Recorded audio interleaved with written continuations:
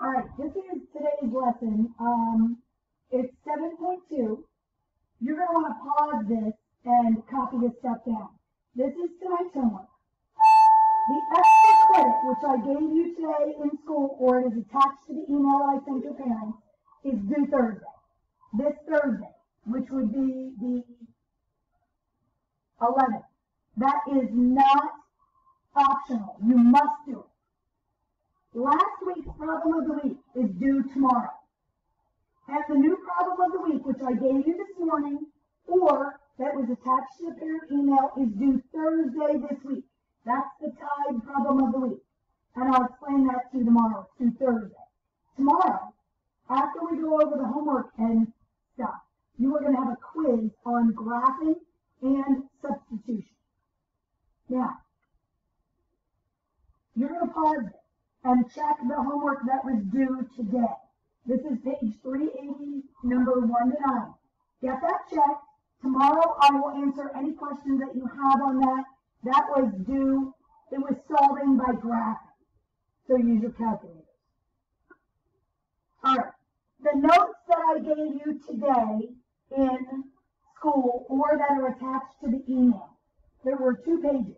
The first page is just solving by substitution, which I'm going to do now, and then I'll stop this lesson and I'll record the word problems in a separate lesson. You'll have to watch both of them. All right, so let's take a look at these notes. First example, is 3 a solution of this equation? 2x plus 7 equals 13.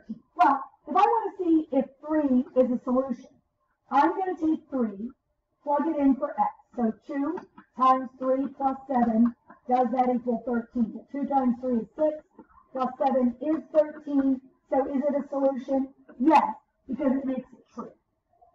Okay, a solution always makes the equation true. Now, this one, is the point 3 negative 5 a solution of this equation? Well, isn't this an ordered pair, x, y? So I'm going to substitute.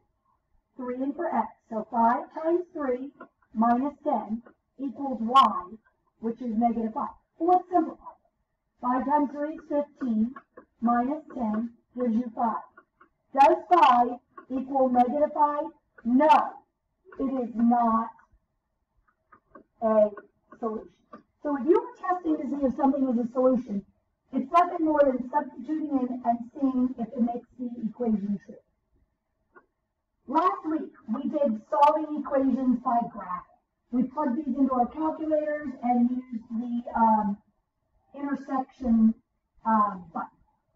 Today we're going to do it by substitute. The steps are aligned, are outlined in your notes. Step one, write one equation in terms of one variable. Well, this one's easy. y equals this. The first equation is already solved for y. So, we did that. y equals negative 4x plus 8. Then, step two, solve the other equation using either variable. So, our equations were this, y equals negative 4x plus 8, and y equals x minus 7. I'm going to take this, and I'm going to substitute it into the other equation for y. when I drawing that?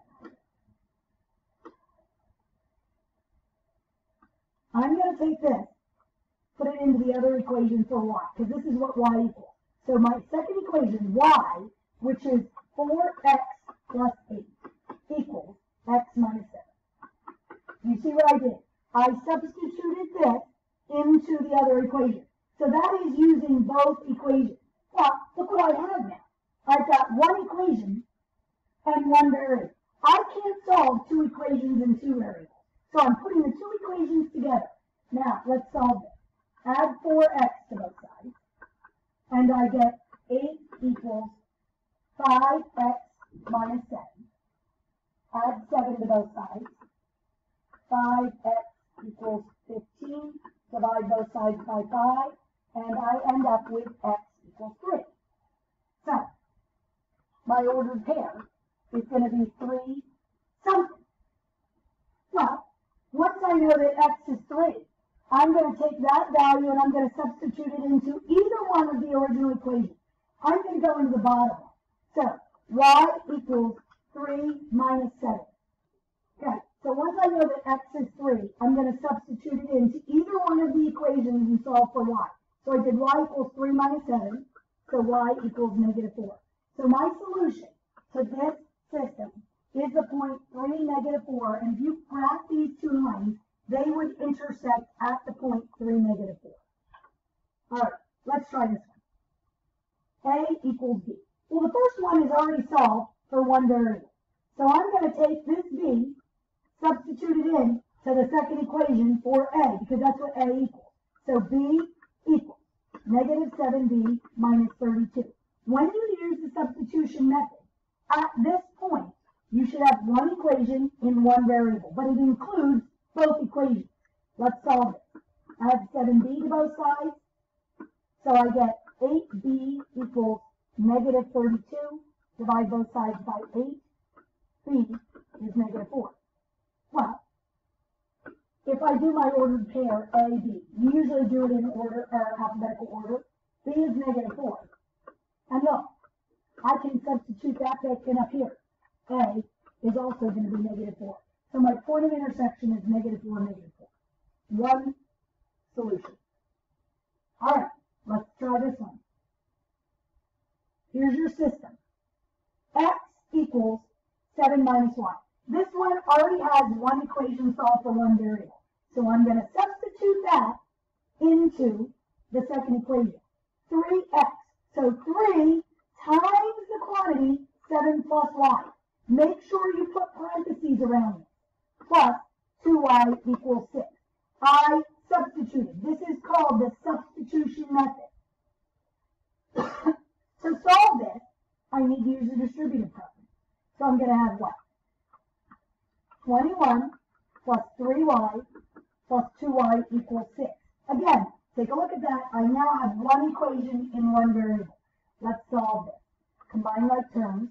I'll have 5y plus 21 equals 6. Subtract 21 from both sides. 5y equals negative 15. Divide both sides by 5. y is negative 3. So, my point of intersection or my solution is something negative 3. Well, let's take this negative 3 and substitute it in here. x equals 7 plus, what, wait, I believe that. x equals 7 plus y, but y is negative 3. 7 plus negative 3 is 4. So my point of intersection is 7, negative 3. Okay, let's try, we're going to skip that one. Now, this one, number 7, is a little bit more complicated. All the ones that we did before, one of the equations was either x equals or y equals. Well, this one is not set up that way. So I need to transform one of the equations. I'm going to transform this one. Why am I going to do that? Because x is by itself. So let's subtract 2y from both sides. So this second equation is going to be x equals negative 2y minus 5. So step one, transform one of the equations to solve for one variable. And it doesn't matter which variable. I chose x because it makes sense with this equation. Then, once you have this, you are going to substitute this into the other equation for whatever variable you solve for. It has to go into the other equation. So 4 times x, but we just found x to be negative 2y minus 5. Minus 3y equals 2. Substitution method. I substituted this into the first equation. Let's solve this. I need to distribute. This will be negative 8y minus 20 minus 3y equals 2. Solve this. Combine like terms. This will be negative 11y minus 20 equals 2. Add 20 to both sides. And I get negative 11y equals 22. Divide by negative 11. And I end up with y equals negative 2. Once I know that y is negative 2, I'm going to substitute that back into, I'm going to go into this equation. So x equals negative two times y, which is negative two, minus five. So x will be, this will be four, minus five, negative one. So my point of intersection is negative one, negative two. I'm gonna stop this now and then do a part two for the word problem.